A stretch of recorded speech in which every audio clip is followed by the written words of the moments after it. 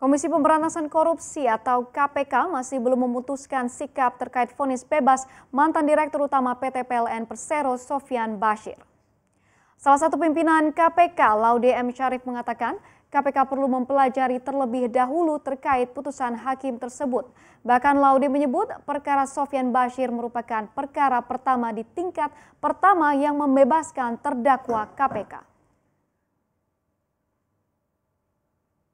Kita baru tahu juga sekarang uh, uh, dari teman-teman bahwa pengadilan memutuskan seperti itu. Uh, nanti jaksa KPK akan melaporkan kepada kami dan setelah itu kami akan uh, mendiskusikan secara internal uh, dan biasanya sih saya tidak bisa apa namanya ya bisa mendahului apa tetapi eh, kami akan berusaha uh, semaksimal mungkin untuk bisa membuktikan itu.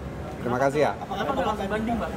Ya? Kenapa nggak langsung banding aja? Ya kan bisa di permohonan banding itu kan punya waktu, punya waktu antara sehari, dua hari, tiga hari, empat hari. Biasanya jaksa-jaksanya datang ke kantor dulu uh, untuk itu uh, pasti mereka ambil sikap pikir-pikir. Apa ini yang pertama ya Pak untuk uh, apa namanya terdakwa yang difonis bebas pengadilan atau gimana? Ya ini bukannya, ah iya kalau nggak salah ini pikir-pikir ya uh, ya di tingkat pertama kayaknya ini yang pertama.